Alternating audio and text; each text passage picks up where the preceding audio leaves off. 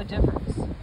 One of ten children of African American and Narragansett tribe descent of Prince Ames and Eunice Russ of Andover, Massachusetts, Eunice was born in October 1800. Her father served as a private in the Army through much of the Revolutionary War, enlisting for three years in 1777 and later re-enlisting until the end of the war in 1783. He served in the 5th, 10th, and 15th Massachusetts regiments under Captains Abbott, Farnham, and Emerson. Eunice married her first husband, Robert Amos, in 1818. They had two sons and a daughter. The family lived in Lowell, Massachusetts during their marriage, but after her husband's sudden death in 1825, Eunice moved to Boston. Her second husband, John Davis, was an African American Baptist minister. According to the Boston Daily Globe, in 1897, Eunice was of a deep religious nature throughout her life. She became president of the first independent female, Baptist Female Society and was actively involved in her own church as well as other local black churches. Gail Coughlin mentioned in her article for the Dedham Historical Society Davis's importance in the abolition, abolitionist movement that, quote, Davis always worked and advocated for the well-being of both free and enslaved people of color. Davis was mentioned frequently in the Boston-based abolitionist newspaper, The Liberator, along with her daughters Dorcas Ames Revilon and her mother Eunice Ames.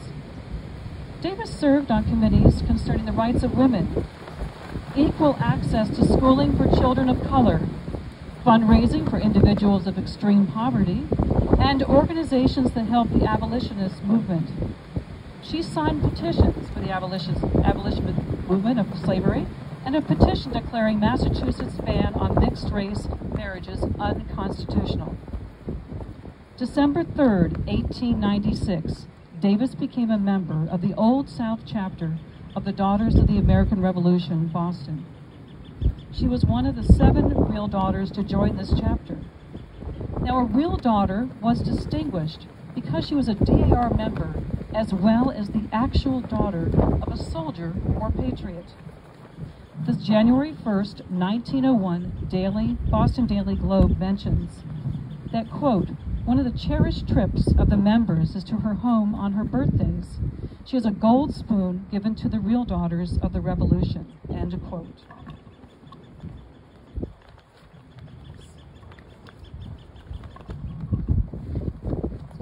Davis was not only proud of her father, Prince Ames's military service in the Revolutionary War, but also of other family members' service in the War of 1812 and the Civil War.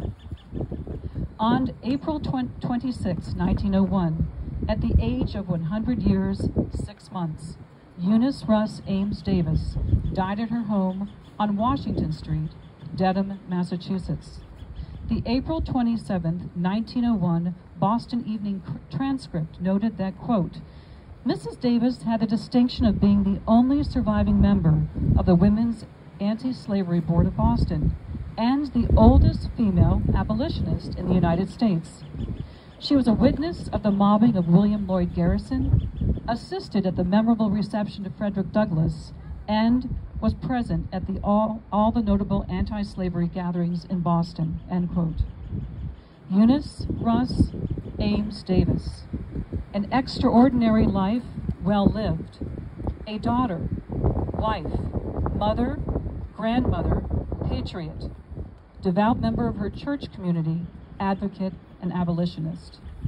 We pay, we pay tribute to and honor her today for her life and contributions to her community and society. At this time, may I present the President Jacqueline VanBuren. Mrs. VanBuren. Thank you, Mrs. Kessler. And please join me in expressing your appreciation to our Historian General for the research that she did and uh, the, all the effort that went to culminating in today's ceremony. Very, very fortunate to have had her. My relationship with Eunice began about a decade ago. I had the privilege of serving as our National Society's editor-in-chief of our magazines for 15 years. And we did a profile on her to recognize this exceptional story of this woman of color who had become a daughter of the American Revolution and also a leading advocate for both uh, African American rights and women's rights in the, the pr- century prior. I was in, so intrigued by her story, and it also uh, illustrated to me one of the great frustrations I have experienced since joining our National Society, and that is trying to illustrate to the general public and prospective members that we welcome and encourage women of color. And here we have Eunice's story from the 1890s, uh, where she is a member of the Daughters of the American Revolution. We have never asked for race or ethnicity on our application. It is impossible for us to know how many other women like Eunice made the decision to honor their patriot ancestor by becoming a member of our organization, and that has always frustrated me. And so for me, I see in Eunice Davis the representation of all of the women who joined the DAR and who perhaps, uh, you know, were of mixed race, uh, uh, American Indian descent and um, African American descent. So uh, to me, she has come to symbolize so much more than just one daughter. The poor Massachusetts daughters are so sick of me.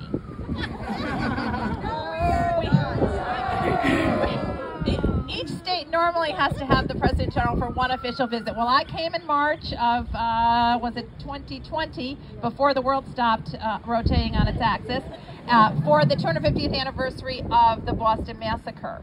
And then I came for the wonderful state conference, and then I came to rededicate the Pilgrim Mothers Monument last November. So I keep coming back. So uh, uh, it's almost over.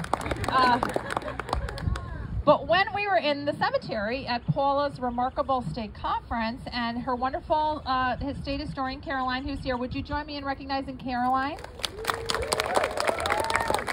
I honestly don't know if you volunteered or I asked you about her, but at any rate, in the in the cemetery that day, she made the fatal error of telling me she knew exactly where Eunice Davis was buried.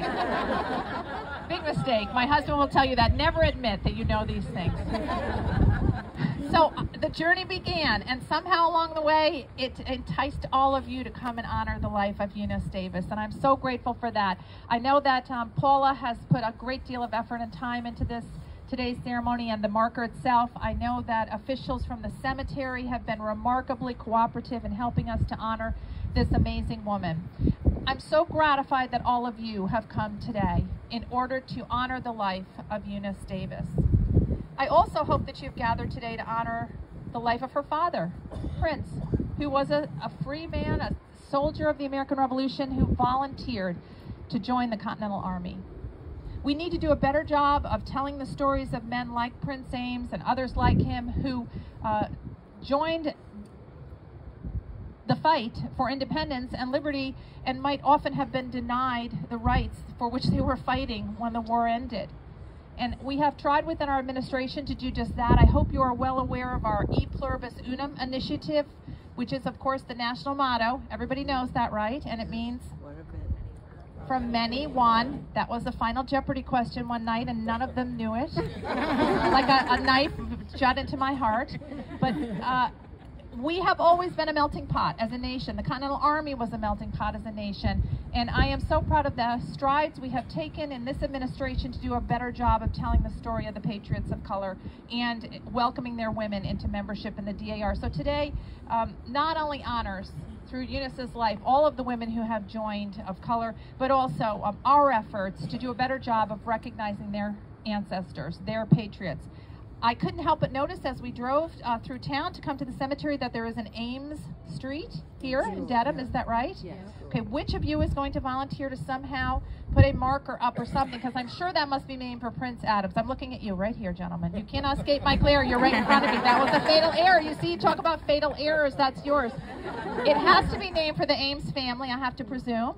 We have the Ames Schoolhouse also. And the Ames Schoolhouse. The oldest uh, wooden yeah. schoolhouse almost in the state. Well, what are you waiting for? You, you need to put up some kind of a marker to honor him. It's a town hall now. So oh, okay. We'll uh, put something together with. Uh, I have to imagine that it is named in his honor. So uh, let us commit that today is not the culmination. Today is not the end of our ceremony. Today is a, he's very worried now about what he volunteered for. uh, this pallor has been cast over his face let us let us ensure that from this point forward, we will do a better job of telling the stories of the men and women who achieved inde- American independence. All be unveiled by President General Denise Doring VanBuren, after which a wreath will be placed as an honor and tribute to Eunice Russ Ames Davis, real daughter, Old South Chapter, Massachusetts. Mrs. VanBuren?